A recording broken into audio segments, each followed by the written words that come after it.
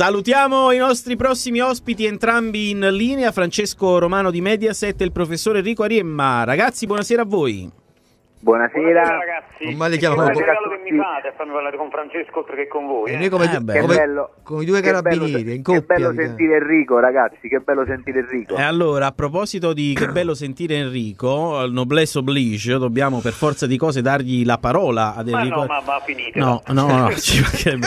Allora, Ubi Enrico... Maior, Ubi Maior. No, eh beh, dovremmo, dovremmo continuare con una brutta parola, però non è il caso. e, e- e- e allora, ragazzi, è arrivato Demme che ha scelto il numero 4, però, come diceva Lino D'Angio prima, c'è questo mistero Lobocca, il quale è a Napoli, però il Napoli lo nasconde perché, lo diceva anche Francesco Molaro, non possiamo ancora Sì. annunciarlo per ovvi motivi di, di- di- di gestione della, della lista, la famosa lista. Eh, chiedo prima quindi ad Enrico Ariemma, è un mercato che fino adesso ti soddisfa o secondo te dobbiamo essere pronti ad avere altri colpi di mercato? Ma insomma, come al solito mi fate parlare di mercato quando c'è Francesco, quindi... No, insomma- vabbè, che c'entra? È No, una... no. Scherzo. No, mi sembra un mercato in questo momento funzionalissimo e insomma, certo, eh, il playmaker di grande spessore non è arrivato, ma secondo me non è arrivato un playmaker vero. Cioè, questi sono due calciatori su Demme eh, vi dico, ho preso qualche informazione sulla Boccica, qualcosina in più la sapevo, ma sono giocatori che secondo me hanno la capacità di adattarsi a fare da schermo e a impostare anche col calcio lungo oltre che col calcio breve. Non sono playmaker nati playmaker, non sono fatti e finiti in quel ruolo. Questo eh, mm, Enrico, ha sensazione chi esce dal Napoli per far posto allo Bocca? Perché abbiamo adesso... Non ho capito. Dicevo abbiamo le coppie grosso modo adesso. No, dico, dico considerato, E quindi- eh, considerato e che quindi- deve uscire qualcuno per far arrivare lo Bocca, perché sarebbe assurdo avere lo Bocca a Napoli nascosto in albergo che va a cena con Gattuso Certo. è giunto e poi non lo avremo- prendiamo, avre- no? Avremo lo Boccica e Demme come schermi, Sì. avremo Allan sicuro a destra, Zelinski sicuro a sinistra e poi avremo Fabian e Elmas che sono coppia con l'uno e o con l'altro perché possono giocare entrambi secondo me sia a destra che a sinistra. Fabian a destra rientrando mi piace abbastanza, anche se non come mezzala sinistra naturalmente. Francesco Chi Romano, esce non lo so. chi Eh, esce Francesco secondo te? Guarda, io sono abbastanza d'accordo con quello che ha detto Enrico eh, nella valutazione insomma, del, del pacchetto di, di centrocampo. Io credo che tra, tra, i vari, tra le varie opzioni quello che rischi di più di rimanere, di rimanere in panchina è Fabian, Mhm. Fabian Ruiz, perché comunque sia alla fine il, il, ehm, il centrocampo del Napoli è abbastanza, è abbastanza definito.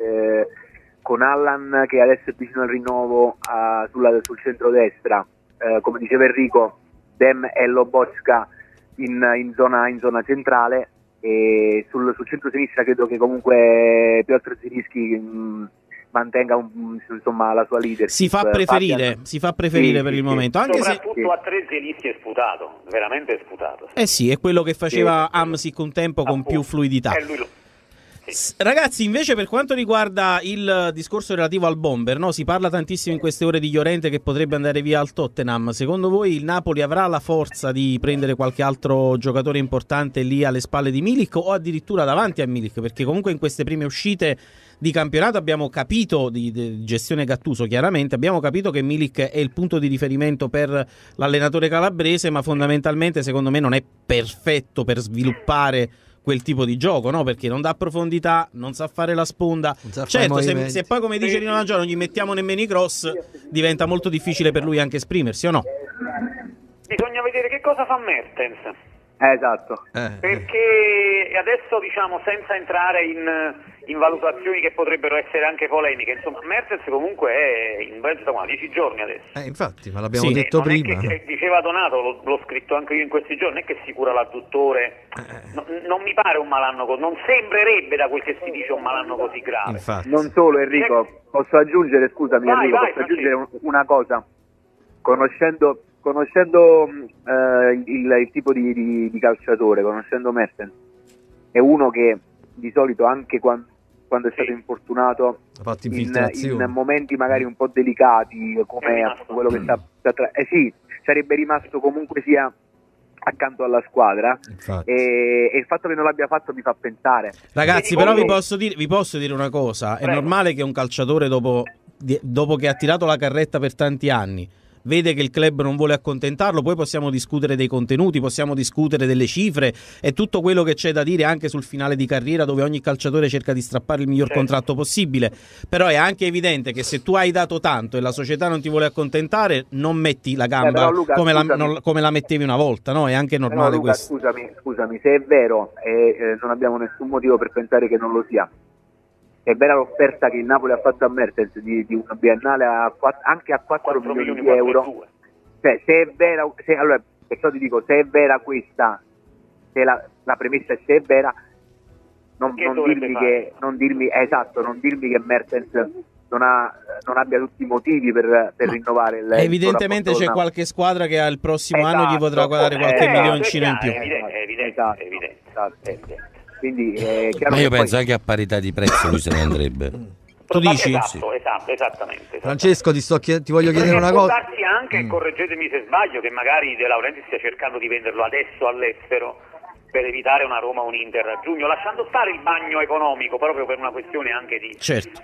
di, di, di opportunità di collocazione diciamo, del, del, del, giocatore. Francesco, ma tutti questi, questi affari col Verona, quei giocatori del Verona, non è che il Napoli l'anno prossimo prende Juric? Eh, già lo so dove vuoi arrivare, a Juric, no? Eh, infatti. Guarda, io eh, ti, sono, ti, sono, sincero, eh, a, a, me Juric piacerebbe non poco come allenatore, perché è un allenatore molto diciamo, è un allenatore di rampa di lancio che mi ricorda molto Gasperini, uh-huh. eh, però credo che per il Napoli ci voglia un allenatore un tantino più scafato, più... Uh-huh eh, più Ragazzi, pronto. ci dobbiamo mettere nell'ordine delle idee che il Napoli deve ripartire, non dico da zero, ma quasi. Sono d'accordo. Quindi un allenatore, Va bene, un, allenatore, un allenatore, che ricorda un po' Mazzarri che fa il 3 difensivo potrebbe essere la chiave di lettura. Io spero in un Gasperini. Lino D'Angio eh, dice esatto. che Gasperini già eh, non lo possiamo prendere più. No, esatto, esatto. È, già fu- è, già fuori. Già sì, fuori però è già fuori e siamo d'accordo. Però vi invito a fare una riflessione. L'Inter l'allenatore l'anno prossimo non lo cambia.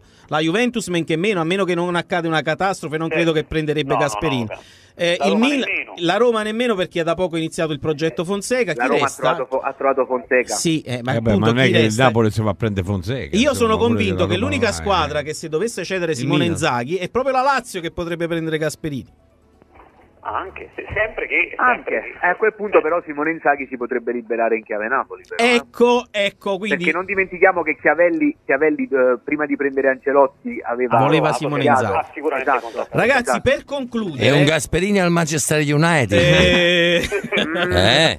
La, vedo, la, vedo, dura. Ragazzi, mm. per concludere chiedo anche a voi, come ho chiesto agli altri ospiti, Maurizio Pistocchi, Roberto Massarone, Oscar Magoni e tanti altri vi chiedo qual è secondo voi la formazione che schiererà Gattuso in campo domani contro il Perugia, perché?